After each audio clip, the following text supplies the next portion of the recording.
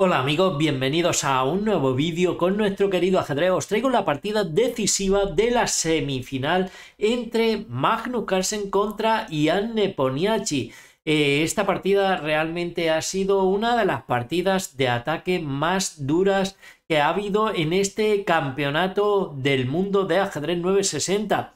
Como os digo, esta es una semifinal, también se está disputando la semifinal de Hikaru Nakamura contra Abdusatoro. El que gane va a pasar también a la final junto con el que gane entre eh, Magnus Carlsen y Ian Neponiachi, que os pongo la interfaz rápidamente, donde como podéis observar aquí, pues las blancas las lleva el campeón del mundo Magnus Carlsen y al otro lado del tablero está su eh, retador eh, recientemente en el campeonato del mundo de ajedrez clásico. Pues bien, Deciros que hasta este momento Magnus Carlsen había ganado la primera ronda, Nepo había ganado la segunda y esta era la tercera ronda, la partida básicamente decisiva de este match. Vamos con la partida en sí, donde el campeón del mundo Magnus Carlsen salía con caballo G3. Brutal, brutal el dolor de cabeza que tengo, pero ¿quién se va a negar a hacer la partida eh, digamos, la partida decisiva de la semifinal del Campeonato del Mundo, ni que me doliera tanto. Así que ahora, en este momento, Neponiachi responde con G6. B4 juega Magnus Carlsen dándole salida a la dama. Y aquí las negras contraatacan con F5. C4 lanzando Carlsen otro peoncito al centro en el flanco de dama. E5.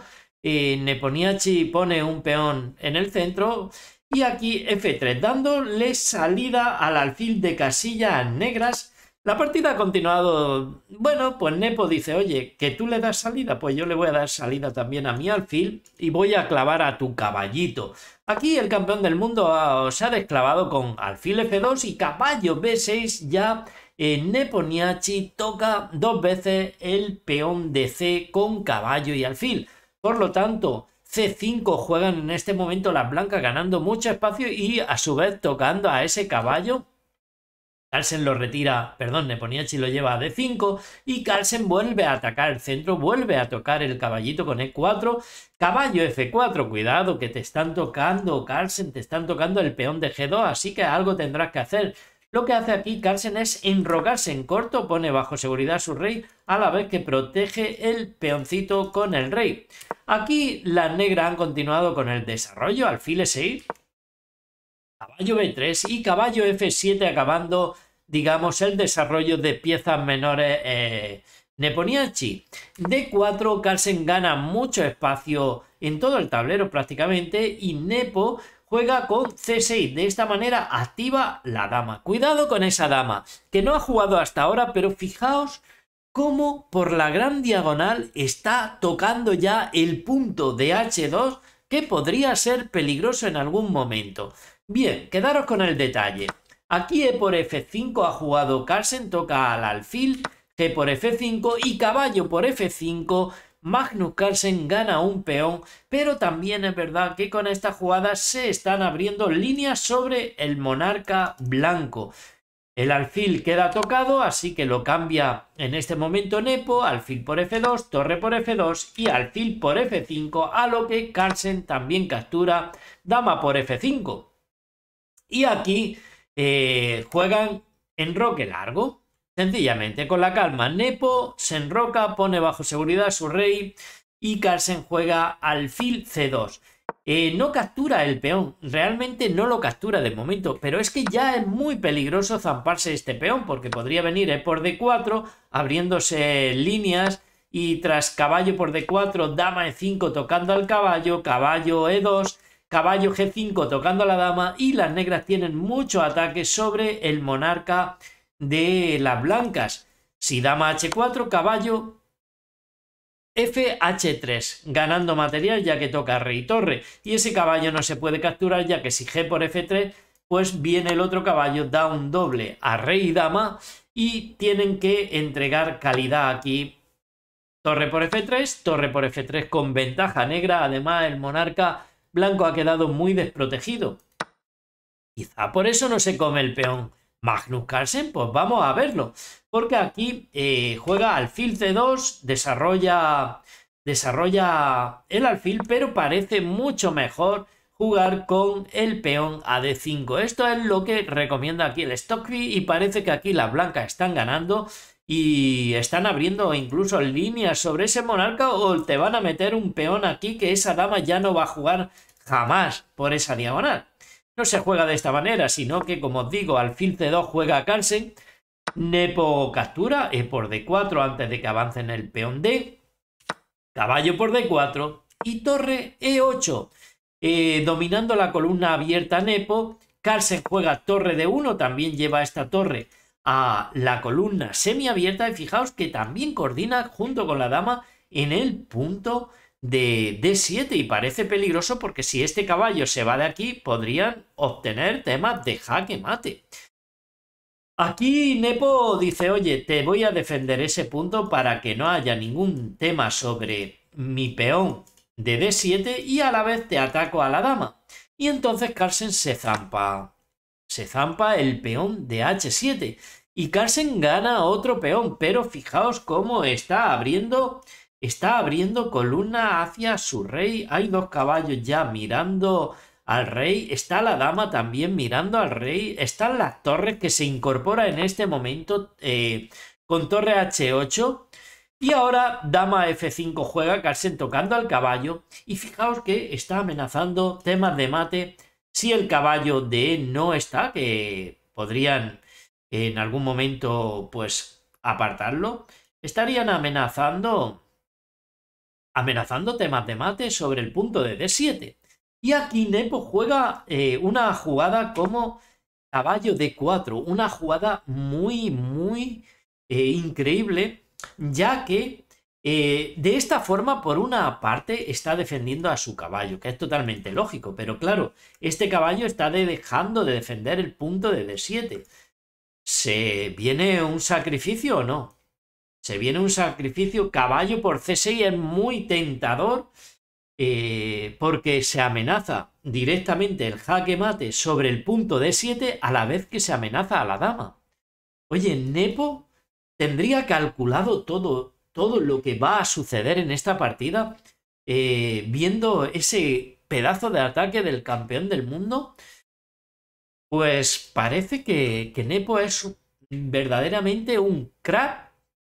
Eh, le está negando el campeonato del mundo, no le ha dado la revancha y fijaos lo que sucede a partir de ahora.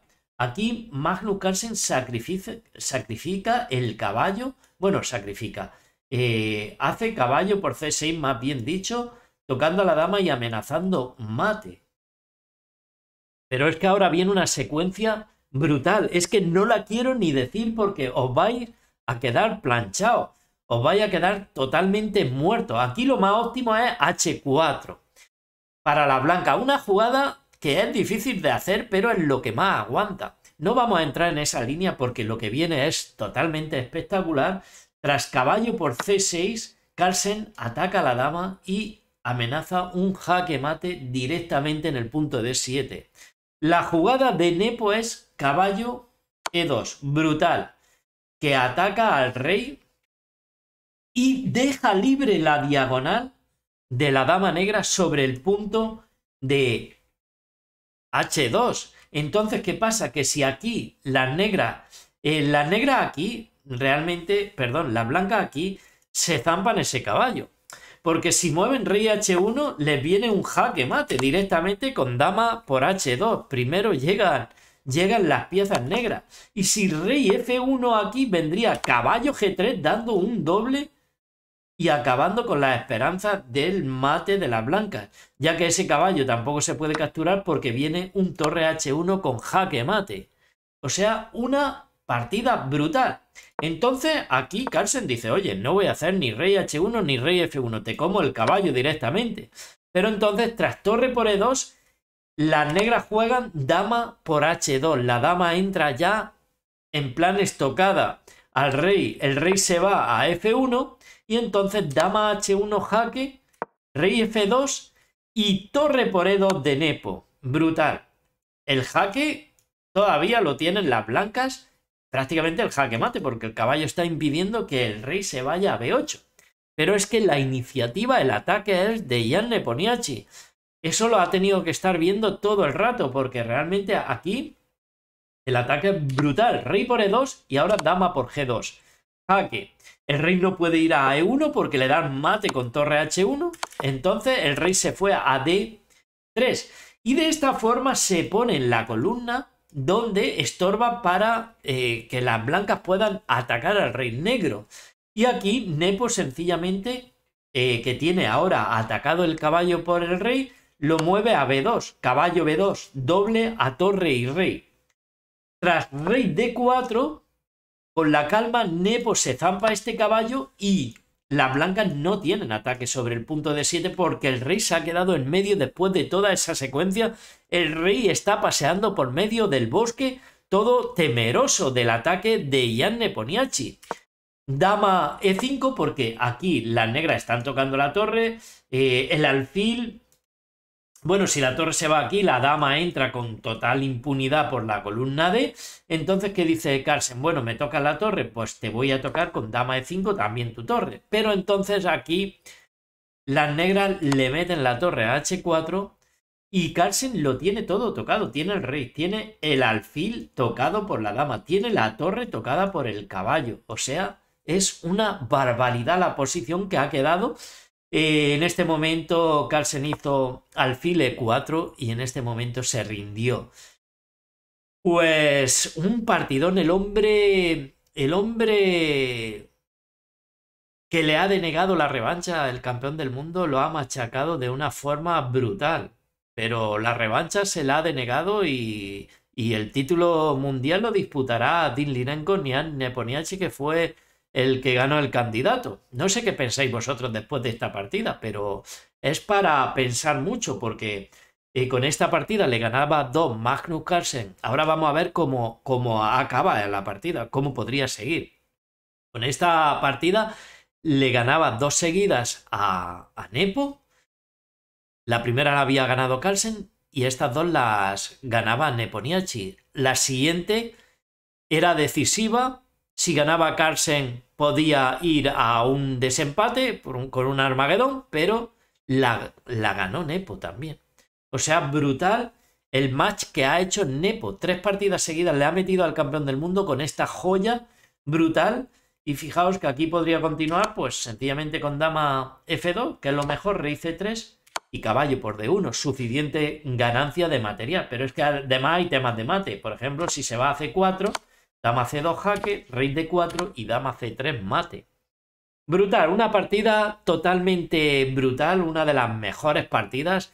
Eh, no podía dejar de subirla incluso con mi dolor de cabeza. Espero que os haya gustado mucho. Si ha sido así, no olvidéis apoyar el vídeo con un me gusta. Bueno, y deciros que la final será entre Nepo y Nakamura, que le ha ganado el match a Andusatoro.